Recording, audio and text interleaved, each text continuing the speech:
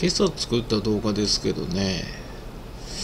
いやー高評価を3つもいただいて、うん、大変嬉しいです、えー、29回合計でねご覧いただいてるようで。これねうんやっぱりね C++ の動画がね少なすぎると思いました、私自身のね。やっぱり C 言語にちょっと偏りすぎてたなと。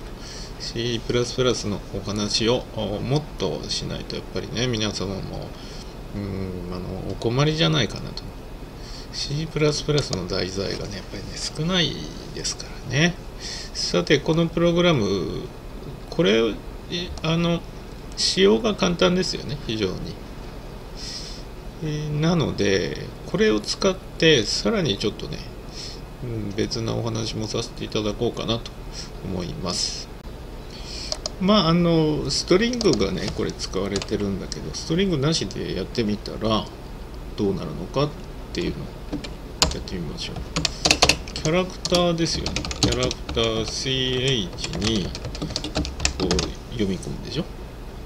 こういう法文じゃなくてね。ここで読み込みました。でもって出力ファイルにまあ出力するでしょ。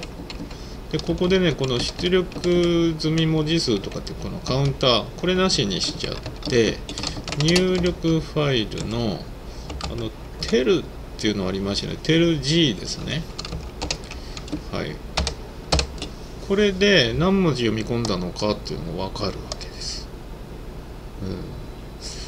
うん。だかこれ使っちゃえばいいわけですよ。イコールイコール0ですよっていうんだったらこれね。こんな感じですね。うん。あじゃああれだ。ここあれファイルにしちゃえばいいかな？いやまあじゃあこうしようかな。ね。うん、このだから CH がねこのフォームの中に収まってくれますからこういうふうに書けるはい。あこれでできちゃったかな。執行しましょうか。はい。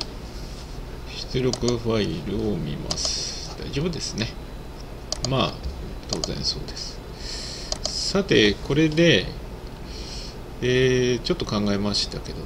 C++ の勉強。C 言語でもそうなんですけど関数を作るとだいぶ力がつくと思いますよ、えー、ではこれはだからなんか変換みたいな感じでしょ。処理内容的にはね。えー、では void コンバートみたいな。こういう関数で処理をやってみましょうか。でやり方としてそうですね。入力 stdistream こうです。ifstream にしても間違いではありません。こういうふうにしても。これでもいいんです。いいんだけどこれのだから規定クラスが i iStream なわけです。で IF ストリームにしちゃった場合は要するに IF ストリームファイルじゃないと使えない関数ですよって言ってることになっちゃう。こうすると。でも今からやろうとすることはファイルではファイルじゃなきゃダメよではない。別に何でもいいんですよ。i ストリームなら。ということから IF ストリームじゃなくてねその規定クラスである iStream にしておくといいですね。はい、同様に、えー、stdostream これも ofstream f つけちゃうとファイル専用になっちゃうから。でもこの関数今から作ろうとする関数。まあこういう内容ですからね処理内容が。全然そのファイルに限定する必要ないわけです。ですから OStream にしますよ。そうするとこの処理がこっちに来てで入力ファイルって書いてあったと。これが ISTM になる。出力ファイルが OSTM になる。でこうですでこのコンバートを、えー、ここから、えー、呼び出すと。で呼び出すときに ISTM 引数には入力ファイル、えー、出力ファイルをこの第2引数 OSTM に与えてやると。こんな感じ。でできましたね。はい。まあこれ実行してもしょうがないんでしょうがないっていうかどうせ同じだからあのうまくいくに決まってます。はい。いやそれでねこういうふうにしたことによりですよ。ちょっとね実験しましょうか。if0 これ条件コンパイルって言いますね。if0 とします。とこれちょっと薄くなったでしょ色がね。ここはあのコンパイル対象から外しますよという意味です。それでもってエルスの方こここれは濃くなってるでしょ。だこっちはあのコンパイル対象です。とこっちは今コメントみたいなもんですよ。全くだから、えーとまあ、こういうふうに書いたのと同じ。こうしなくていいわけです、はい、それで出力ファイルここに、えー、IO ストリームをインクルードして、ね、stdc アウトってやってやれば出力が画面っていうか、まあ、あの黒い画面ね。コンソール画面に出ますよ。ね。出たでしょ。こういうふうに、えー、ファイル専用じゃないっていうのはそういうことですですから。でここが stdc アウトに、えー、なったわけです。今の動きで。それとかあとあの S ストリームやってみましょうか。ストリングストリームを使ってさらにじゃあ別の el if 0 else if って意味ですこれ。Else if とは書かないで el if と書きます。でこれ1だとここが有効になりますね。今濃くなったでしょこれ。で0ですからもうこうですよってやっといてでここでまた別の実験をやりましょう。std オストリングストリーム。これはあの文字列ストリームっていうやつなんですけどね。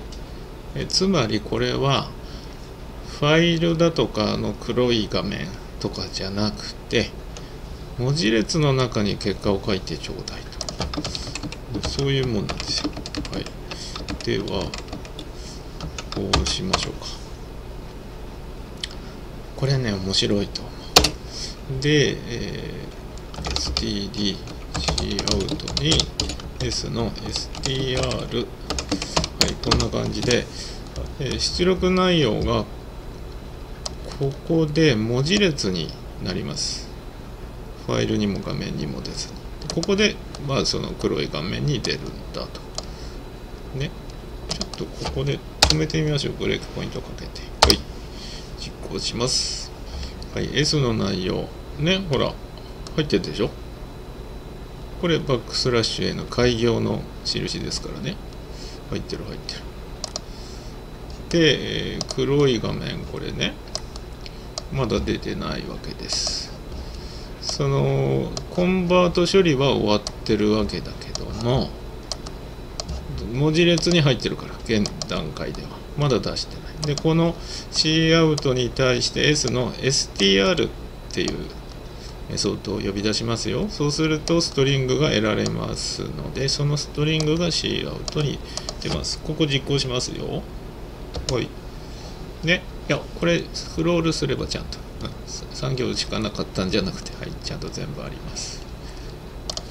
とこんな感じ。で関数作ると、うん、結構楽しめるでしょこういう感じで。だからこの関数は入力ストリーム出力ストリームということで引数で受けてますからそれがファイルなのか黒い画面なのか文字列のストリームなのかん、それはだから関係なく使えるんですね。ということなんです。なかなか便利でしょこれ。はい。関数はね非常にそういう、うん、楽しい。じゃあ次にラムダ式やっちゃおうかね、うん、ラムダ式っていうのはつまりねこの部分ここが怪しいでしょ。いや怪しいっていうのはおかしいか。この決まりドットが0です。ドット以外はそのままですってなんか。ね。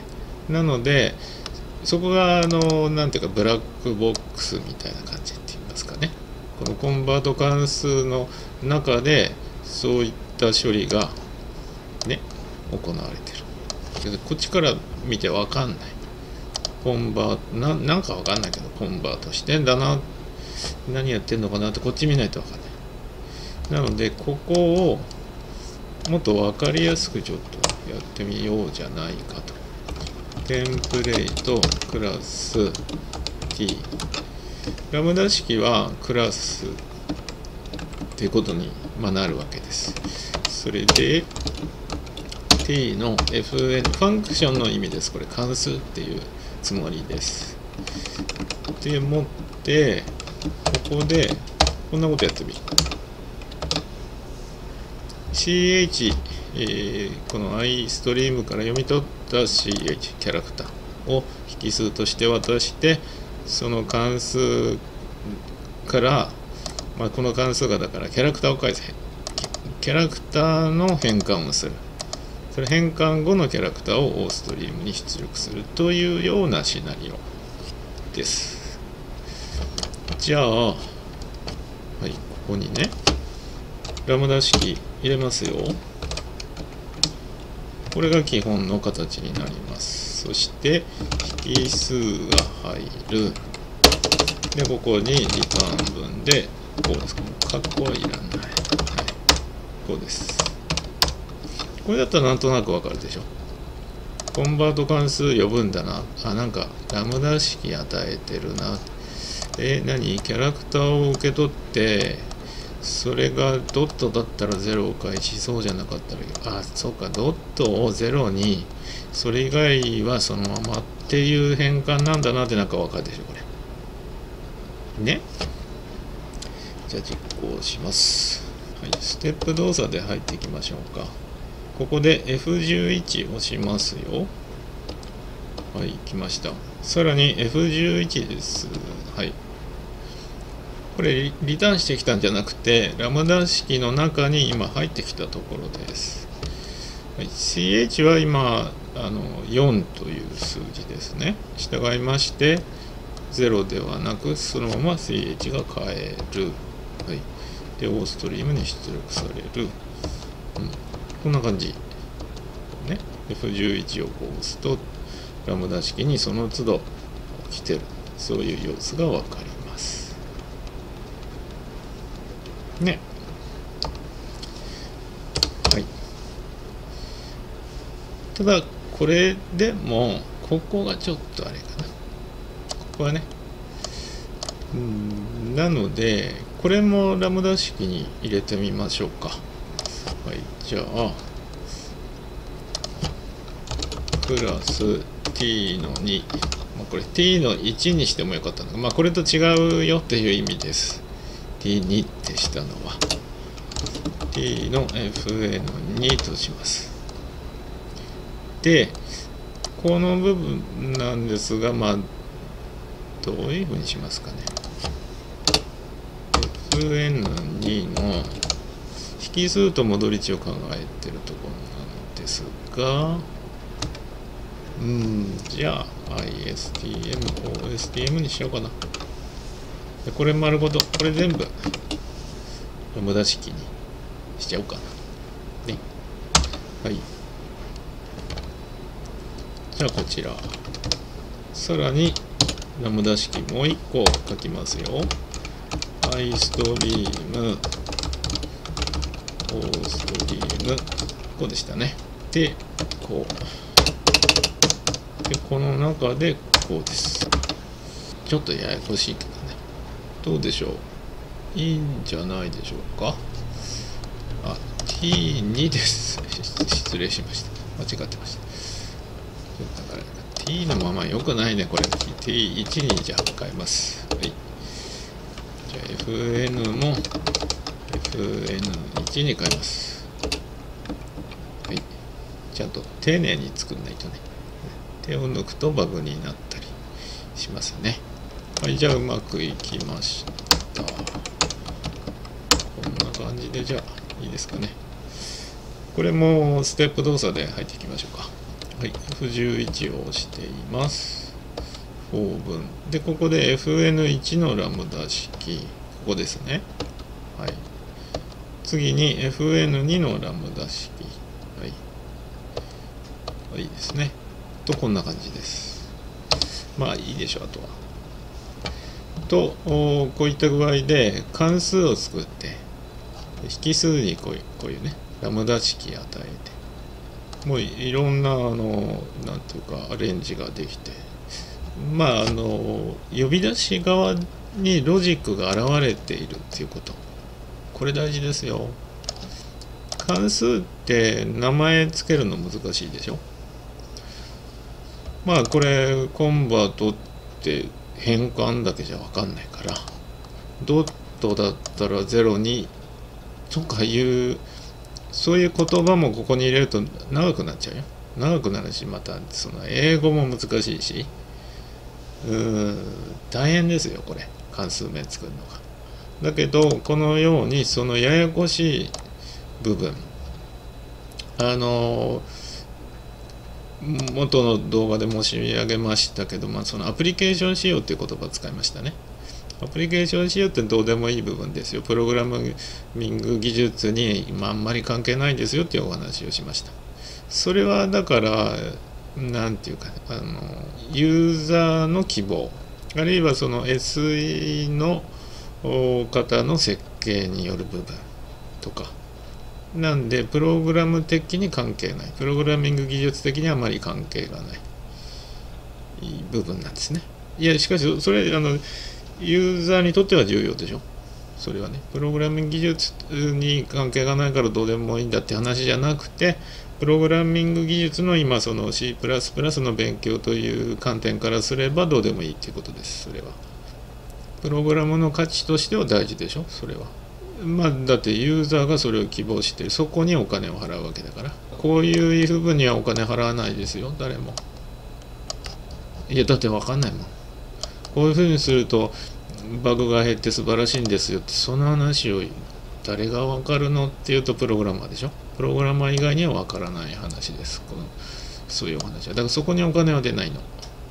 ただ品質がいいものになりますね。それからどんなに複雑になっても破綻せずちゃんと仕上がる。そういうだからあこの人なんかちゃんとプログラム作るね。っていう評価にはつながるでしょう。だけどその中がこういうふうにしてるからだね。っていうのはそれはわからない。あのプログラマーにしかわからない。SE の人にもどうでしょう。わからないんじゃないでしょうか。どうでしょう。ちょっとその SE の方がどういうふうに見てるかはわからないけども。うん。まあ、顧客にも当然わからない。ね。なんで、ここにお金は払わないよっていうお話で、お金払うのはだからこっちですよっていうことです。だから大事じゃないという意味じゃない、そのプログラムの価値として、あの、重要じゃないという意味じゃなくて、あの技術として、プログラミング技術として、あのどうでもいいお話なんだよっていうことです、そこはあの誤解のないようにお願いしたいと。え、思います。まあ、そういうわけで、そういうそのプログラミング技術に関係がない部分、アプリケーション仕様、え、ユーザーのご希望、あるいはあの学習中でしたらその課題の要件、課題として設定されている内容、そういうどうでもいい部分は、あのこういうふうにね、表に現れるようにしておくといいですね。えー、はっきりと分かるように。でこれがあのサブルーチン関数の側に隠れちゃうとそこが難しくなっちゃう。なのでこの呼ぶ側で見えるあなるほど CH がドットだったら0ねっていうね。でここもテル G あのゲットのテルテルっていうのはあの場所を教えてあのちょっと専門的な話になりますがシークポインターっていうのありますよね。えー、まあ、ユニックスのシステム コールとか、そういうシーク、L シークとかありますよね。そういう L シークとかで、えー、返ってくる値。その、まあ、テルっていう言い方をします。F テルとかもありますしね。あの C 言語の標準ライブラリーで。まあ、それで、その、現在の読み込み済みの文字数踏み込んだところのポジションを9で割ってあ0だったらあそうかそうかと分かる。これ見て分かると。っていう感じですね。まあしかしこれそれもこれもね、うん、C++ として最近のことですね。こういうことができるようになった以前はこれはできなかった。まあだから10年前からできるようになって10年、うん、ちょうどね、え10年前から。ビジュアルスタジオ2010から、えこういうことができるようになったというわけでした。ちょっと長くなっちゃったかね。まあこんな感じで皆様もぜひこういうねちっちゃい関数で作ってみて。でラムダ式を受け取るようにしてでややこしい処理をこのサブルーチンの内部から出して呼び出し側で好き勝手にやってちょうだいと、うん、こういうふうにすると、うん、全体の見通しが良くなるんじゃないかなとそんなふうに思いました以上です、えー、皆様の C++ プログラミング学習に何かちょっとでもヒントになるところがあれば嬉しく思います。ご覧いただきありがとうございました。